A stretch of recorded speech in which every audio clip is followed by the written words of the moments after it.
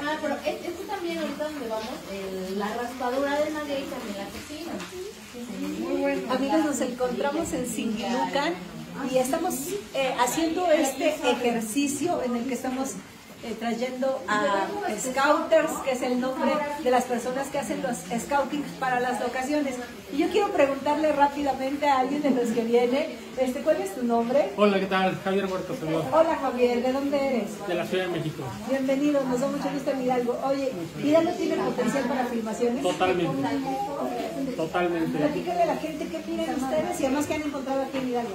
Pues la verdad es que hasta ahorita hemos eh, tenido un recorrido bastante bueno. Yo ya he filmado aquí varias, en varias ¿Qué ocasiones. gente. Oh, no me acuerdo, pero bueno, he ido por ejemplo a Santa María Regla, eh, de donde son los pastes, de, de Real del Monte. Entonces, hay muchos lugares que pueden venir, carreteras, muchas carreteras, muchas haciendas, y bueno, no se lo quieran. Muchísimas gracias. Gracias a Hola, ustedes. misma pregunta. ¿Hidalgo tiene potencial para ser sede de filmaciones y producciones? Sí, muchísimo, muchísimo, porque tienen unas carreteras con rectas que le llaman los directores rectas infinitas, tipo Kill Bill, y eso les gusta mucho porque es muy cinematográfico. O sea, los paisajes de semidesérticos, áridos, este, le da un potencial, mucha potencia para los, los road movies o estas escenas de, en autos se ve hacia el horizonte, eh, eso es muy como idílico, muy romántico y eso me gusta mucho. Tomas con dron, eh, bueno, las, algunas cuevas o cavernas como las de San Bartolo Totepec, ahí he filmado dos veces.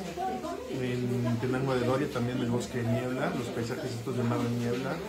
Este, híjole, las haciendas que tienen increíbles, eh, la gastronomía también, o sea, los festivales gastronómicos para documentales, muy interesante, como el del Valle de Santiago, este, Pachuca algunas zonas, o algunas colonias también por época. Eh, tiene mucho potencial, tienen todo, o sea, prácticamente este, es un paraíso. Ay, muchas gracias. Eh, ¿Puedes compartir tu nombre? Igor Rechi. Igor Rechi. ¿Y has trabajado para diferentes plataformas? Sí, para Amazon, para Netflix, para HBO, para, eh, para Apple TV, eh, para VIX, este, y ahora para televisión. Bienvenido. Muchas gracias. Ya somos amigos aquí en Pachuca. Hidalgo tiene algo y es potencial para filmaciones. Claro que sí.